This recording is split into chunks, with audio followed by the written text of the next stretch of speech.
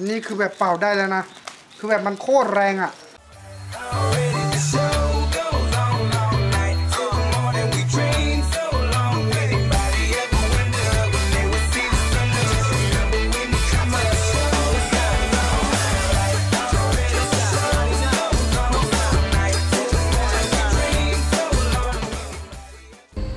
สวัสดีครับวันนี้อยู่กับผม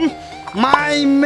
สวนนะครับ แล้วก็วันนี้นะครับผมก็ได้มาที่บ้านบนต้นไม้ของเรานะครับ ซึ่งแบบเราได้สร้างไว้นะครับ ซึ่งแบบคลิปนั้นแบบมีผลตอบรับที่โคตรโคตรดีเลยนะครับผมก็นั่นแหละ ซึ่งวันนี้นะครับเราแบบไม่ได้มาเอาชีวิตรอดบนบ้านต้นไม้ 24 ชั่วโมงนะครับผมหรือว่าอะไรยังไงนะเพราะวันนี้เราจะมาทำลูกดอกที่เป่านะครับผมนั่นแหละนั่นแหละซึ่งนี่นะครับเรามีลูกโป่งไว้นะครับผมก็นั่นแหละเดี๋ยวเราจะไปหาไม้ไผ่เล็ก ๆ นะครับผมมาทำลูกดอกแบบเป่า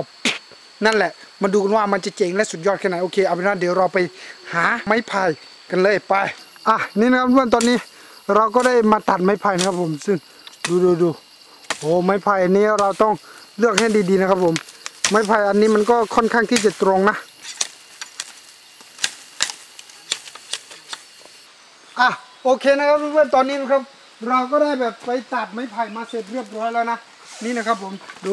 ก็ประมาณนี้นะครับผมก็ค่อนข้างใหญ่พอสมควรนะครับโอเคโอเค เดี๋ยวเราจะขอกลับไปทำต่อที่บ้านนะครับ แล้วเราจะมาทดสอบยิงดู เดี๋ยวเราจะต้องไปทำลูกดอกมันนะครับ ซึ่งอันนี้ก็ได้แล้วแม่นไหมซึ่งแบบโอ้โหเจ๋งสุดยอดเลยก็ยาวประมาณนี้นะโอเคโอเค เดี๋ยวเราจะเอากลับไปทำลูกดอกที่บ้านครับผมซึ่งบ้านบนต้นไม้นี่นะครับเพื่อนๆพี่ๆน้องๆพ่อแม่ปู่ย่าตายายคนไหนนะครับอยากจะให้เรามาเอาชีวิตรอดที่นี่สัก 24 ชั่วโมงหรือ 32 ชั่วโมง หรือ อะไรยังไงก็กดไลค์ขึ้นนี้ถึง 3,000 ไลค์นะครับผม ถ้าเกิดถึงผมจะมาเอาชีวิตรอดกับบ้านบนต้นไม้นี่อีกนะครับผม ซึ่งตอนที่เรามาสร้างเราแบบไม่ได้ไปหาอะไรกินมาเยอะแยะนะ ก็นั่นแหละนั่นแหละกดไลค์ถึง 3,000 ไลค์ไปเลย โอเค เดี๋ยวเราจะมาเอาชีวิตรอดนะ นั่นแหละโอเคเอาเป็นเดี๋ยวเรากลับไปทำกันต่อที่บ้านดีกว่าไปอะใช่แล้วเพื่อนก็เราก็จะต้องเดินทางออกไปจากป่านี้สักพักหนึ่งนะครับผม นั่นแหละซึ่งเราก็เข้ามากันหลายคนครับในคลิปวิดีโอนี้ เคเดี๋ยวเรากลับออกไปกันดีกว่า กลับไปที่บ้านกัน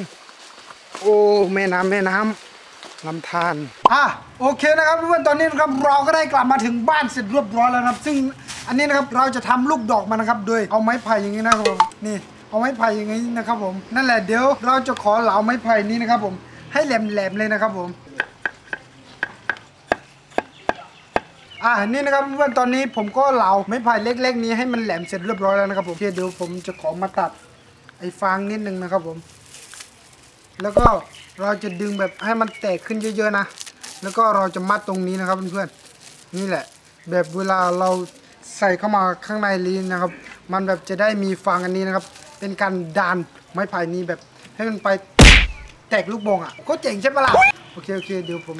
ขอทำฟางนี้แตกให้เยอะๆก่อนครับผม อะนี่นะครับเพื่อนๆตอนนี้นะครับผมก็ได้แบบทำอย่างนี้เสร็จเรียบร้อยแล้วนะโอเค เดี๋ยวเราจะมามัดกับไม้นี้นะครับผมแบบเพื่อให้มันเป็นแรงดันของลูกดอกของเรานะอะโอเคนะครับเพื่อนๆตอนนี้นะครับ ดูดูดูลูกดอกของเราก็เสร็จเรียบร้อยแล้วครับเดี๋ยวผมอัดยาพิษครับผม นี่ครับผม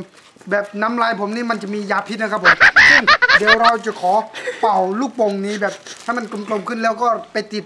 ข้างต้นไม้นะครับผม ข้างเสานะ นั่นแหละโอเค นี่นี่นี่เดี๋ยวเราจะขอเป่าลูกโป่งซึ่งอันนี้นะครับผม อันนี้คือแบบเป่าได้แล้วนะ คือแบบมันโคตรแรงอะ มาผมเป่าให้ดูเลยนะครับเพื่อนๆ ดู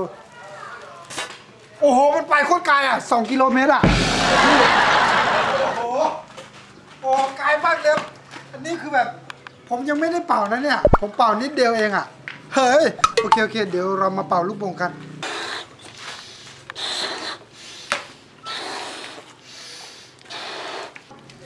นี่นะครับเพื่อนตอนนี้นะครับเราก็ได้แบบมัดลูกโป่งไว้เสร็จเรียบร้อยแล้วนะดูดูดูดิลูกดอกอาจยาพิษ ด้วยน้ำลายไม้เมสวนนั่นแหละดูดูดูโอเค เดี๋ยวเราลองมาเป่าลูกดอกแล้วก็ยิงลูกโป่งกันมาอะโอเคนะครับเพื่อนผมจะลองยิงดูนะครับ ผมห่างประมาณ 5 เมตรนะครับ ผมซึ่ง 6 เมตรหรือเปล่าผมไม่รู้โอเค เดี๋ยวผมขอลองยิงลูกดอกอับยาพิษดูนะครับผมมาดูกันว่าลูกโป่งมันจะแตกไหมนะครับ ผมโอเค กดไลค์เพื่อเป็นกำลังใจกับพวกเรา3,000ไลค์นะครับผม โอเค เดี๋ยวผมขอเป่าเลยนะครับเพื่อนๆเย้หนึ่งสองสาม